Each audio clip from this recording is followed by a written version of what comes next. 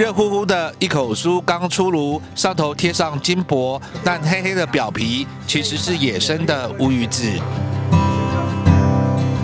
标榜低糖少盐的乌金酥才是这道甜点正确的名称。选用四两野生的乌鱼子，不但油脂厚度很饱满，但做法却很繁复。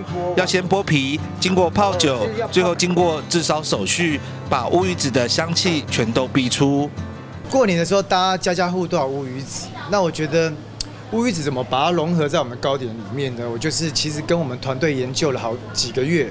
那我觉得乌鱼子其实是一个送礼很好的味道，然后海味跟甜那个油皮油酥加起来是非常融合的。炙烧后的乌鱼子经过磨碎，还要与熟成的面团二次结合，最后融合天然发酵的绿豆馅，让每一颗乌鱼子每咬下一口都呈现柔软绵密的口感。酥很香，完全没有鱼腥味。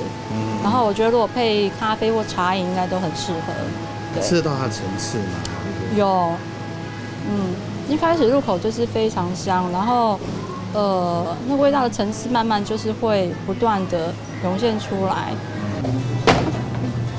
而过年了，民众发发发吃腻了传统发糕，不妨来一点酒酿桂圆蜜枣发糕，内馅满满十二种中药材和食材，纯手工制作，虽然耗时，但烘烤时间。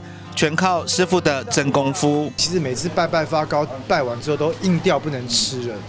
我在心里面想说，小时候很贪吃嘛，为什么觉得拜完都硬掉？所以我就用糕点去融合，把发糕这个东西放在里面，然后又可以拜拜三天，然后完了之后还可以吃，因为这个其实是可以放在常温三天的。将年节的乌鱼子融入糕点，传统年味蹦出新口味，应景的小点心增添不少年味。